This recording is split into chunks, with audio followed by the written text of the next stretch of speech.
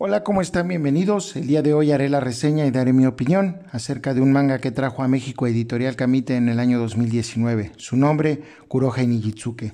Obra de los artistas Ryogo Narita, a quien le debemos la historia, y Anazuka Chiramue, a quien le debemos el arte. Este manga vio la luz en Japón en la revista Monthly Shonen Sirius de Kodansha en el año del 2019. Es un shonen y va a pertenecer a los géneros de sobrenatural, acción y drama. Al principio fue concebido como un tomo único, pero su historia es tan entretenida e innovadora que la editorial decidió darle una continuación, la cual cuenta actualmente con tres volúmenes titulada Kuroha Nijitsuke Blood Witch Divertimento. Esperemos que en algún momento Editorial Kamite pueda traernos la continuación de la historia de estos dos personajes que sin duda llevan al lector a la reflexión acerca de las actitudes que cada individuo toma para enfrentar los obstáculos que la vida le pone en su camino. Y bueno, vamos a tener aquí un, cómodo tamaño B6, que es el, tamaño que más me gusta. Eh, vamos, al ser un shonen, vamos a tener una sobrecubierta en acabado brillante. Vamos a encontrar eh, prácticamente toda la portada a esta chica preciosa, la cual se llama Kuroja. Y vamos a encontrar aquí en los bordes, pues un fondo plateado que apenas se alcanza a ver eh, los cabellos violeta de esta chica van a prácticamente ocupar todo el espacio de la portada. Como ya es una tradición en Camite, ellos no invaden la portada principal con su logotipo, lo cual a mí me encanta. Eh, vamos a tener aquí en tintas amarillas el nombre de los dos artistas involucrados en la obra y aquí eh, Kuroge Nijitsuke, que es el nombre de esta licencia.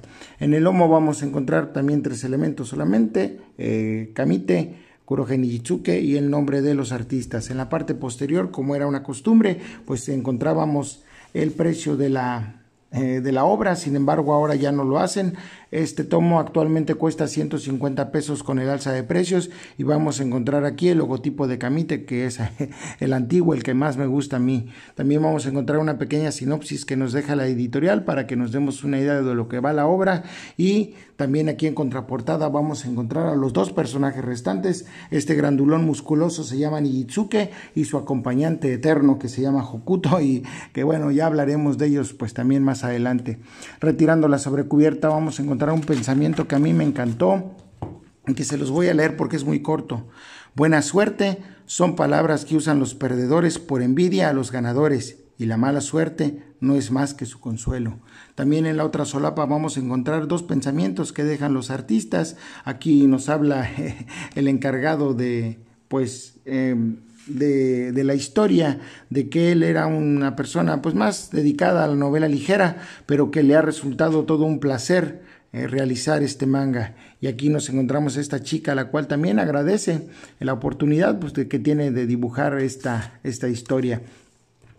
Eh, no hay mucho que decir de la portada principal porque prácticamente es un espejeo de lo que ya vimos, todo el tomo es un espejeo de la sobrecubierta, así que no, no ahondaremos mucho en ello. No sé cómo venga el tomo japonés, eh, pero bueno, Kamita respeta siempre mucho este tipo de detalles probablemente es lo mismo prácticamente. Este tomo no tiene hojas a color y va a tener esta hoja blanca con tendencia en gris que a mí me encanta, es la hoja que más me gusta de Camite, así que bueno, y bueno, ¿de qué va la obra? Eh, la obra? La obra inicia donde eh, dos líderes de, de, la Yakuza están peleándose la licitación de la construcción de un aeropuerto. Se supone que son los dueños de una constructora y que también pertenecen a la mafia. Están jugando un juego de manju, algo así se llama, y están eh, disputando en este juego de azar pues el futuro de este aeropuerto. Está muy indignado este sujeto porque le está diciendo a este jefe Yakuza que no está tomando en serio el juego, ya que el jefe Yakuza ha decidido usar como representante a esta chica, la cual se llama Kuroha, y él le dice que pues que sí, que seriamente ella va a ser la que va a jugar este juego de azar contra el otro eh, jefe rival. No logra entenderlo, aquí bueno, un, un pequeño prólogo que nos van a presentar y eh, inicia el juego de, eh, de Banjon. Eh, la chica no sabe jugar. El jefe le, le, empieza a decir todo lo que tiene que hacer, le tiene que dar las indicaciones y el rival está muy consternado porque pues es un contrato importante, es un negocio importante el cual se puede perder. Sin embargo, vemos a este tipo muy confiado, eh, le está dando todas las indicaciones de cómo colocar las fichas eh, que le han tocado al azar y le dice que, que las voltee. La chica grita eh, Tenju y aquí vemos cómo logra sacar uno, dos, tres, cuatro tercias y un par. Eso significa que ha sacado la mayor cantidad del juego, no, no, sé cómo se puede decir, no soy un experto en este juego de azar, y todos empiezan a, a sorprenderse eh, por lo que acaba de pasar. Acaba de aplastar a su rival y acaba de ganar la licitación de una manera increíblemente fácil. Eh, se enoja este hombre y dice que si se están burlando de él, que no puede ser, que es una trampa. Y cuando trata de dispararle, la pistola con la cual le trata de disparar le explota en las manos y vemos cómo sus dedos caen al piso. Eh, le estalla esta arma de fuego y la chica queda ilesa. Aquí vemos cómo se revuelca de dolor y este jefe yakuza toma a su, a su pieza más preciada y se la lleva. También les hace saber que los va a acusar con el consejo de yakuzas eh, para decirles que han, que han usado un arma de fuego y que han abusado de, de esto y que han sido malos perdedores en este juego de azar el jefe Yakuza rival eh, entra en crisis y dice que, que, cómo es posible que él va a ser eh, asesinado eh, por los superiores por, un error de su asistente y dice que pues al menos él perdió los dedos. Esta chica eh, definitivamente dice que es bendecida por la diosa de la fortuna. Fue secuestrada por este hombre y es utilizada como un arma. Pero esta chica, al tener toda la suerte del mundo, es una desdichada. Eh, siempre está eh, lamentándose su existencia a pesar de ser una ganadora. Em, el jefe Yakuza eh, se pregunta a sí mismo si habrá en el mundo un hombre que tenga la suerte contraria a esta chica y dice que debe de ser un infierno para la persona a la cual haya nacido con mala suerte. Inmediatamente vemos aquí como un camión eh, aplasta y choca contra un edificio. Los trabajadores de la obra se espantan y aquí vemos a, este personaje que a mí me encanta que se llama Hokuto y eh, este camión golpea, golpea a Nijitsuke. Nijitsuke con toda su fuerza eh, lanza el camión por los aires y eh, con, un, con, una, con un humor eh, muy peculiar, muy delicioso, reprende al, al, empleado que cometió el error y que provocó el accidente y que lo aplastó y le dice que tenga cuidado porque si hubiera ah, golpeado a alguien más débil seguramente esa persona estaría muerta. lo deja parado, lo deja perplejo él se va quejando de que en la ciudad en la ciudad no hay seguridad, que, la ciudad es una ciudad muy insegura porque hay muchos accidentes. Cada vez que él va caminando por la calle, accidentes pasan y accidentes pasan todos sobre él. Él niega la suerte, él dice, la suerte no existe. Eh, y aquí su compañero eterno, Hokuto, le dice, solamente tú dirías algo como eso en esta situación. Entonces aquí se van juntos y este hombre eh, pues bueno, va con toda la fortaleza, vemos que es un hombre eh, alto, poderoso, fornido, tiene una actitud de hierro, tiene una actitud increíble. A mí me encantó este personaje, es un manga realmente delicioso de leer. Aquí vemos a esta chica como eh, siempre fue afortunada, aquí vemos a Kuroja como el compañero que la molestó, pues prácticamente fue devorado por hormigas. ella sus padres la, hacen jugar la lotería y se sacan la lotería.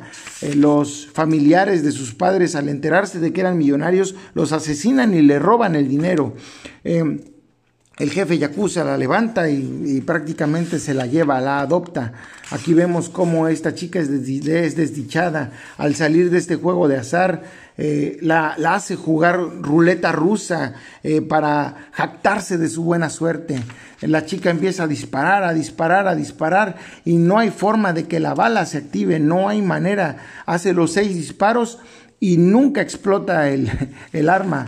Eh, esta chica ya en desesperación apunta hacia el jefe y el jefe le dice que no tenga miedo, que ella es una bendecida, que ella eh, tiene la oportunidad de aplastar a sus rivales y de hacerlos trizas si ella quiere. Él le dice que la protegerá y que esto va a ser eterno. Entonces ella al ver su martirio entra en crisis, eh, se aterra, explota y lo empuja y ella se lanza al vacío. Aquí se, se lanza hacia, una, hacia el ventanal eh, y está muy alto, está a varios pisos de altura. Eh, sin duda, cualquier persona en el mundo eh, va a morir. Sin embargo, ella es bendecida con la buena suerte. Aquí vemos cómo nuestro personaje va haciendo berrinches porque todo le pasa, todo le pasa. Él está furioso porque dice que la ciudad no tiene seguridad y vemos cómo esta chica cae al vacío. Él la ve y con una pericia magistral va a salvarla. Y en ese momento la persona con más mala suerte del mundo se encuentra con la persona más afortunada del mundo. Lo demás no se los cuento. Realmente faltan páginas para divertirte, para deleitarte con el mensaje tan poderoso que este manga tiene. Es una joya, es una brutalidad, está increíble. Esto tiene muchos meses aquí en la mangateca y yo no lo había leído. Eh, me arrepiento de no haberlo leído antes, pero bueno, cada manga te llega en su momento y este es un momento muy especial el cual a mí me llegó porque, eh, bueno, situaciones que pasan en la vida, no, nada es al azar. Entonces, eh, por favor, léanlo, léanlo porque vale muchísimo la pena, es una historia muy completa. Bueno, eh, ¿qué les digo? Les dejo mi Twitter, les dejo mi Wacom. Ya saben, ya saben, si me siguen, los sigo. Vamos a ir haciendo más grande la comunidad. En este mes ya 300 eh, suscriptores más se agregaron al canal, así que vamos súper, súper bien creciendo. Discúlpenme por, eh, por esta ausencia que tuve, pero la visita a Editorial Camite me tenía muy emocionado. bueno, bueno, bueno, listo, ya. Adiós.